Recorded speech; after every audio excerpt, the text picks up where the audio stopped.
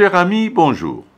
Je vais vous donner des informations précises et très inquiétantes sur l'islamisation de Strasbourg avec le soutien des autorités publiques. D'où viennent ces informations? Eh, D'un site musulman au titre évocateur des dômes et des minarets. Il s'agit d'un site qui fait la promotion de la construction des mosquées en France. Je vais me contenter de répéter ce que j'ai lu sur ce site.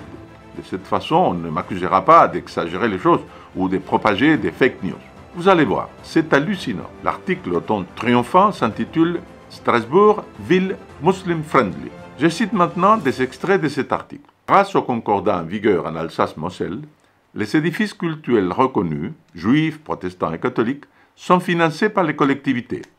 Mais, depuis 1999, Strasbourg finance aussi chaque nouveau projet, y compris les mosquées, à hauteur de 10%. Ce fut le cas de la Grande Mosquée de Strasbourg, ouverte en 2012 et inaugurée par Manuel Valls, alors ministre de l'Intérieur et des Cultes. La région et les départements avaient eux aussi apporté leur contribution financière. Au total, la Grande Mosquée de Strasbourg a été financée à hauteur de 26% par les collectivités. Rappelons au passage que des États étrangers ont participé financièrement. Maroc, Arabie saoudite et Koweït. D'autres mosquées ont été subventionnées par les municipalités.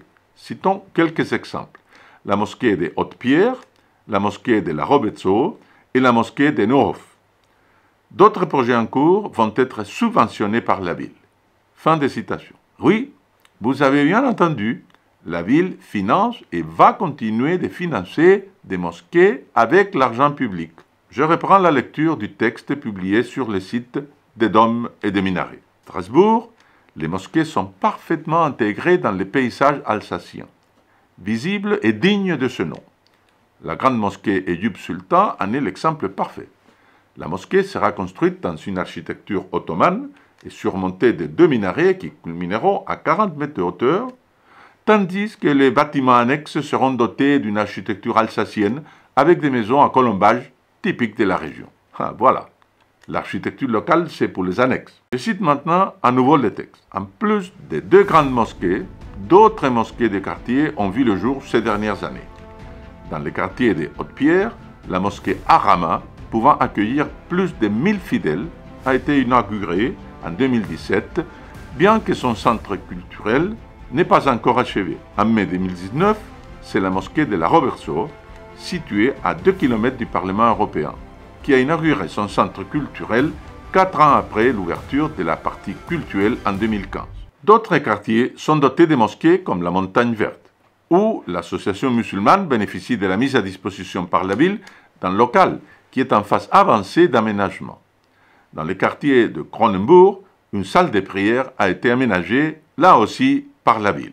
Fin de citation. Parfois, un même quartier peut abriter deux, voire plusieurs mosquées, et ce ne sont pas que des salles de prière. C'est le cas dans le quartier de la Menot, où, en plus de la mosquée du Sultan, un autre projet est en cours. L'association Eveil Menot travaille depuis plusieurs années sur le projet d'une mosquée à 3 millions d'euros rue de Baguerzé pour remplacer l'actuelle salle de prière sous forme de préfabriqués mis à disposition par la municipalité depuis 2000 ans. Après l'obtention du permis en 2018, l'association espère poser la première pierre cet été. Rappelons que la ville avait voté une subvention de principe de 10% en 2015 pour ce projet. Autre quartier à disposer de deux grands projets en cours, Kennishofen. Dans ce quartier, situé à l'ouest de la ville, le chantier du Centre culturel et culturel turc, débuté en 2018, avance à vitesse grand V. Le futur bâtiment, qui s'étale sur 5700 mètres carrés, comprendra, en plus des salles de prière, des salles de cours, une salle de conférence, une bibliothèque, un restaurant et plus encore. En plus des mosquées, Strasbourg s'est doté de deux groupes scolaires musulmans. Il y a les groupes scolaires Eyüp Sultan. L'association mère gestionnaire Miligorus a d'abord ouvert les collèges en 2014, puis une école élémentaire en 2019 et enfin les lycées en 2020. Le deuxième groupe scolaire est géré par l'autre association turque, le DITIB. À l'entrée du quartier de Haute-Pierre, le groupe scolaire Yunus Emre, hébergé au sein d'un grand campus de 30 000 m2, comprend un lycée et une section collège. Voilà. Ici s'arrête l'article ma lecture. Maintenant, je compte sur vous pour diffuser massivement cette vidéo sur les réseaux sociaux.